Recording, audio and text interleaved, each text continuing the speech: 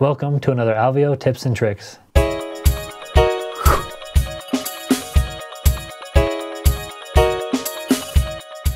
Today, we're going to talk about one of the ways that you can customize the Alveo workspace to best fit your trading needs. In Alveo, I can move any of the sections to where I want them, such as if I want my orders to be on the right side of my one-click trading, all I have to do is click and drag orders, and it brings up this docking chart.